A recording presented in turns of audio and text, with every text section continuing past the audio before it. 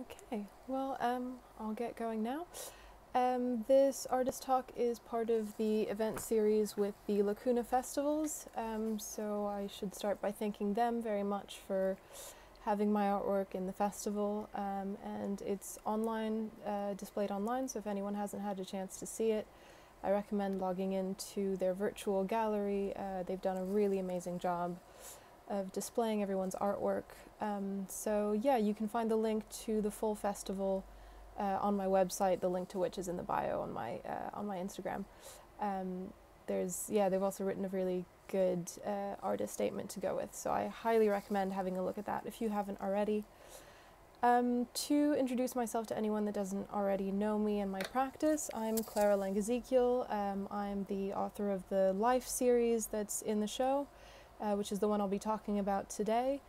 Um, my practice is anchored in uh, my history training. I did my undergraduate degree uh, both in fine art but also in history, um, and I've kept that as the main inspiration for what I do now. Um, basically, I chose to leave the field of history because uh, it's a field that requires uh, objectivity, which um, is in and of itself kind of a paradox, given that the practice of history involves questioning everyone's bias and where everyone's coming from, and then writing as if we don't have the same biases and lack of objectivity. Um, so that bothered me and caused me to keep history as an inspiration, but not um, as what I do. Um, so, the way I use history in my practice is to uh, do the research uh, in something that I'm interested in and try to use my artistic voice, my artistic practice to give a voice and a platform to voices that have been historically uh, left to the footnotes of history. So that generally includes women, people of color, um, religious minorities, and really uh, any minority. Uh, as anyone that's opened a history book knows, um, until, you know, what, like the 1900s, it was all white men, right? So, this specific piece that I'm talking about, Life magazine, I appropriated the iconic American uh, Life magazine, which had an incredible audience in its day and a huge influence on popular opinion in America and therefore abroad, because we know that America has uh, as one of its main exports its culture. Um, so, Life magazine, uh, I'll show a couple examples. You may tell me if you spot the difference. Um, we've got covers like this uh, of the men in action. This one is from 1944. Uh, so, Eisenhower looking all professional in his office uh, with his name on the cover, that's important. Um, then we have the women no name, no clue who she is. This is also during the war, so it's got nothing to do with not having news to report. It's just women, if you can see in the little corner, uh, it just says half hat. So we've got a lot of anonymous uh, models on the covers of Life magazine and um, powerful men that are named on the cover. Uh, for that reason, uh, the series I created, I chose to use a question that historians are not usually allowed to use, which is the what if question. Um, historian, historians are supposed to stick to the facts, what did happen, and not what could have happened. Um, but as an artist, I'm not restricted to uh, to that process. So, uh, using that approach, if you want to be more familiar with counterfactual history, one of the easiest ways to explain it is to use pop culture. You may have seen some Tarantino movies or the recent uh, Hollywood, which was a Netflix series that recently came out um, where they take factual history and then throw in an element that's invented and follow through to see how this invented aspect would change the course of history. Um, it's a really fun, creative way to explore uh, the way our society is built and the way our history is built and written. Um, so, using this approach, I started creating a whole series of fictitious covers of Life magazine, putting on the cover uh, women that really did exist and women that really did extraordinary things. Um, things that could have easily landed them uh, on the cover of Life magazine, but through my research, I've discovered one of the reasons they weren't, in addition to society being explicitly sexist and racist at the time, not that it isn't today. Um, I discovered that not only that, but the editor in chief of Life magazine, John Shaw Billings, was notoriously sexist. Uh, he's quoted saying things like, I dislike women writers, or uh, talking about his female employees by their physical attributes instead of any, you know, relevant things such as their names, for instance. So we really, not surprisingly, have just a whole um, series of covers that do not treat women uh, the way they treat men. Um, so in response to that, it's it's a wider series, but I will show you the three that I've included uh, in the Lacuna Festival show, which are the ones I'll be um, talking about more today. Uh, for that, let's see. Let me switch my camera over for you. All right, so um, these are the three that you will see in the show. Uh, as you can see, they're a little bit smaller than they appear in the virtual gallery, but I'm not complaining about that display as it looks really good. Um, this is the first one I created for the series. Uh, I think it's a very good one to start with uh, because it mimics a lot of the physical representation of the men in Life magazine. Um, these two women are Ludmila Pavlichenko and Rosa Shanina. They are two uh, Soviet snipers that were active during World War II. Uh, Ludmila Pavlichenko, the one on the right, um, was one, is still today actually, one of the most successful and deadly snipers um, in, in military history.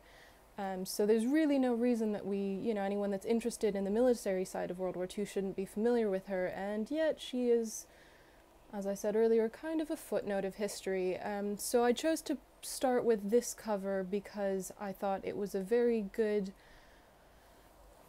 copy, or not copy, a very good parallel, I should say, to uh, the men that were on the covers of Life magazine, all of the military uh, representations, all the soldiers that the pages of Life magazine are filled with.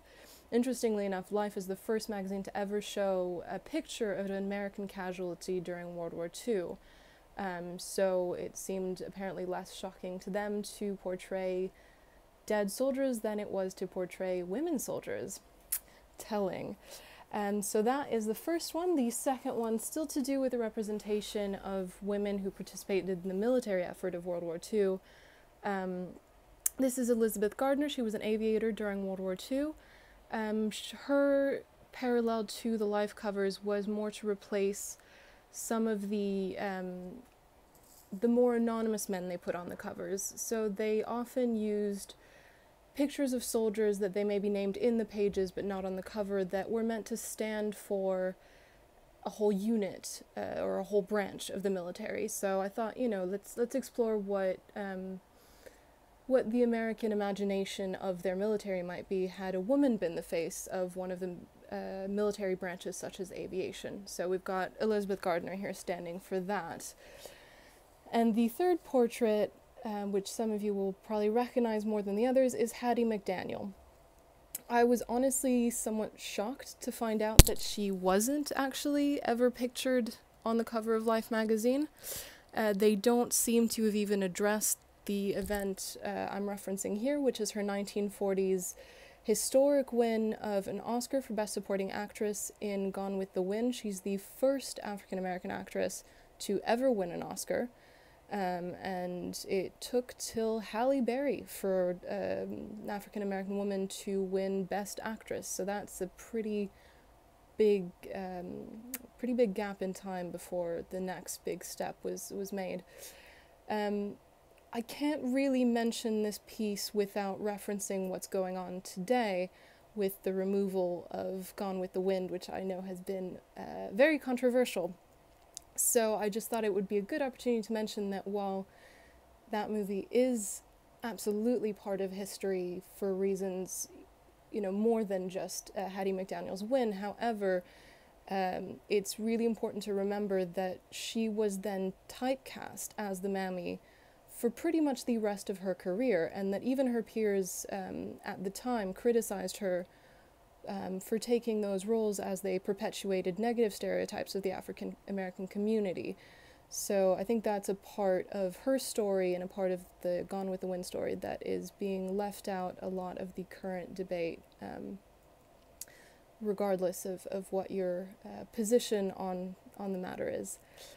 Um, I'll kind of back up. I don't know. Uh, there we go. We can see them all. At the bottom is uh, Simone de Beauvoir's uh, print as well that wasn't included in the show. There are more of these um, that you're welcome to see. They are all on my.